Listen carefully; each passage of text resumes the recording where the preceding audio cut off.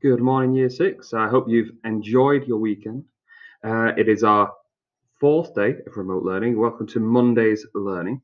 Uh, as with all the other days, I'm just going to give a little run through of uh, what to expect today, what work has been set, and what resources are in place to help you.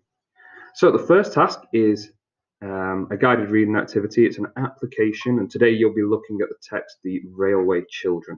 So, read through the text carefully, Try your best to answer the questions, and when you finish the work, upload it to Seesaw. Okay, second task is a grammar task, and as you will have seen last week, we're going to be using some of the Oak Academy lessons. This is the link that you'll follow to the video today, so you'll get to exploring simple and compound sentences, which I know uh, links as well to the complex sentences. That's tomorrow's work, uh, that you've had in spellings. I know some of you struggle with, so hopefully, if you follow these videos today and tomorrow, that will really help you with your spelling homework. As uh, last week, start the lesson, you'll get to a video screen, play the video, and you'll be away. Um, for the maths, again, you'll come to this page, and today we're looking at multiplying by 10, 100, and 1000.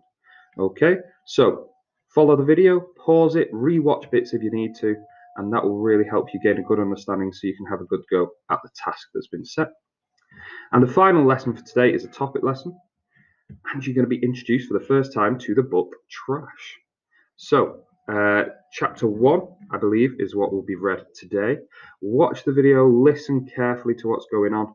Uh, there may be multiple parts to it, as uh, the video is five minutes long and the chapters are a little longer.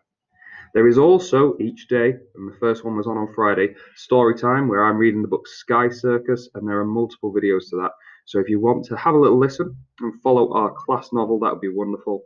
And as always, LBQ will be up and running. You've got your Prodigy, Read Theory, uh, My Maths, TT Rockstars, Spelling Shed. We're monitoring all of them. Keep working really hard and make sure any work you do, you upload to Seesaw.